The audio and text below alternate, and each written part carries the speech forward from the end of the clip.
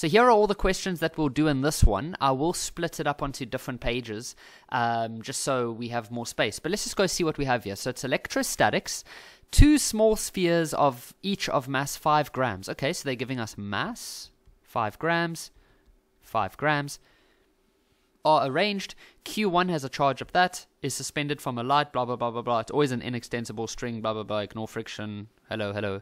Okay, so then um, with a charge of minus 2, they didn't say no friction, but, you know, I'm just what they usually say, um, with a charge of minus 2.5 is placed vertically below so that both charges are in a straight line. Both spheres come to equilibrium, meaning that there's, um, you know, the system is just stationary. When Q2 is 3 centimeters, ignore the effect of air friction. Okay, so first question says calculate the number of electrons that were removed from Q1 to give it a positive charge of that. Let's just talk about that a little bit. Let's pretend once upon a time there was a charge called Q1. Now, Q1 was not positive or negative. We would say that charge Q1 was a neutral fellow. Then, one day, there were some robbers, and those robbers came to Q1 and they said, Hey, bro, we know you got some protons and neutrons, but we know that you have equal amounts. That's why you're neutral. Okay, I'm really starting to feel cringy. Like I'm, I'm like one of those like channels that tries to make it overly entertaining. But you know when they try to make it overly entertaining, especially like when they try to make it fun for kids, but then it's like really cringy. So I'm gonna stop. Sorry. so, um, okay, so what happens is that the robbers come. I'm just going to carry on. The robbers come and they steal the electrons. So it loses that electron, it loses that electron, and it loses that electron. For example, now, electrons are negative. So when something gives away electrons, then what does it become? More positive. And that is why Q1 is positive. Okay, so that's that, that. I just wanted to give you an idea of why is Q1 positive when it gave away electrons. Okay, now they're saying calculate how many electrons were given away. So we have a special formula for this, which goes like this. I don't know why the formula sheet had it a little bit skew, but it's meant to be like that. Now, this part here is the number of electrons. This is the charge that was transferred, and this is um, this is usually actually a delta Q sometimes. On some formula sheets, it's a delta Q. It's like what was the change in the charge, okay? And then this is the charge of an electron, which is on our formula sheet. Let's go have a look. Okay, so here we can see there's a E, charge on electron, and it's negative 1.6 times 10 to the negative 19. Okay, so let's just write that down negative 1.6. We know electrons are negative. Okay, so what we can do then is we can go work out. Um, what you got to understand is that Q1 was originally neutral. What does that mean? It had a charge of zero coulomb. Then all of a sudden, it has a charge of 4.5 times 10 to the minus 9. So that is the that is how much the charge changed by. So it changed by 4.5 times 10 to the negative 9. And remember that if they gave you this in different units like um, nanocoulomb, picocoulomb, microcoulomb, millicoulomb, you would need to have converted, okay? And then the charge of an electron is um, negative 1.6 times 10 to the negative 19. The negative's not that important here because we're just trying to work out the number of electrons. Let's go ahead, calculate this now. And if you round that to, um, oh, it even says here, assume the sphere was neutral. Aha. So um, 2.81 times 10 to the power of 10 uh, electrons. And I know that some of you got a negative answer, but the negative's not actually important in that formula because we're just calculating the number of electrons, okay? You can't have a negative number of electrons as your answer. This one says, draw a labeled free body diagram showing all the forces acting on Q1. Okay, this is quite a nice question. So um, we know that there's a rope. Okay, so that's going to cause some type of tension force. We know that it's got mass. Remember, they told us it's got 5 grams of mass. So it's going to have its own gravity acting down. You could say Fg or W. And then this and this are going to be attracting each other because of Newton, I'm uh, not Newton, Coulomb's law, where we have electrostatic charges. They will attract or repel depending on the charges. So look at this one over here at the bottom, it's negative, and then this one over here is positive.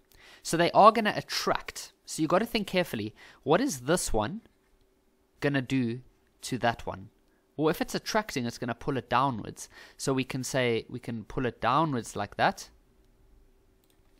And we can call it Fe, which means the force of the electrostatic attraction or the electrostatic force between them. Okay. And so those are the forces acting on Q1. So to draw a label free body diagram, we have one, two, three forces. Okay, excellent. State Coulomb's law. So before we state the definition, let's write out the formula. So Coulomb's law is almost like Newton's law of gravity. We just replace the Q's, I mean the M's with Q's, uh, and then everything else is the same. So state Coulomb's law. So it says that the the electrostatic force between charges would be direct. Now, obviously, these aren't the exact word for it. I'm going to get that now, but I'm just showing you that the formula gives us a good help. Um, what is a good help? So, the electrostatic force between two charges is directly proportional to the product of their charge, and inversely, because it's at the bottom, proportional to the square of the distance between their centers. To the square of the distance between them. We don't really say distance between their centers because these electrostatic charges or, or spheres um, that we are looking at, they are so small that it doesn't even make sense to mention their centers because whether you are looking at the distance, um, so so so whether you are looking at the distance from uh, there to there, or if you were looking at the distance from center to center, it's going to be the same because these things are so tiny. So we don't worry about the radius and the centers. We just say the distance between them. Okay, um, right. So let's go actually get the formal definition now. And so here it tells us that the magnitude of the electrostatic force between um, exerted by two point charges on each other is directly proportional to the product of the magnitudes of their charges okay, and inversely proportional to the square of the distance between them. Okay, so the formula gives you a very good indicator, or it, helps you to remember uh, the definition. This question says, calculate the magnitude of the tension in the string. Okay, so we had a free body diagram on Q1 already. Let's go get that. So here is that free body diagram that we did in one of the earlier questions. So now they want us to calculate the magnitude of the tension, okay? Remember that each of these spheres has a mass of 5 grams, so it will be really easy to calculate this part. But now we need to think about how to calculate that part, which is the electrostatic force between these two objects. Well, that'll be easy. Newton's, um, not Newton, I keep saying that, Coulomb's law, which is K Q1 Q2 over R squared. We know the distance between them we know what each of their charges are, and k is a constant on the formula sheet. So let's go calculate that. So we know that um, k is 9 times 10 to the 9. Q1, it can be 4.5 times 10 to the negative 9. Remember, in this formula, you don't have to put the negative, and so that'll be 2.5 times 10 to the negative 9. And in the distance, be careful, must be in meters. So you're going to divide that with 100, which is 0.03 meters. Okay, so 0.03, remember to square it. And if we work this out, don't round off yet, we get 1.125 times 10 to the negative 4 newtons. Okay, so we have this one. And so now what we can go and do is we could use um, Fnet equals to MA. Okay, let's write this a little bit higher up. Fnet equals to MA. And we are told that the system was at equilibrium. So that means the system's pretty much not moving. So there's no acceleration. So we could say that Fnet is equal to M times 0, which then means that Fnet is 0. Okay, let's choose up as positive.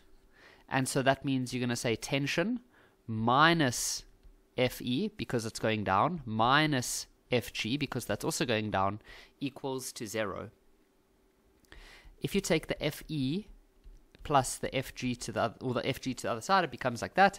And so the tension is equal to the electrostatic force, which is 1.125 times 10 to the negative 4. plus the Fg, which is mass times gravity, but the mass is in grams. So you're first going to say um, divide by a thousand, which is um, 0.005. So 0.005 multiplied by 9.8. Okay, and if you had to go work this out, 0.049 newtons.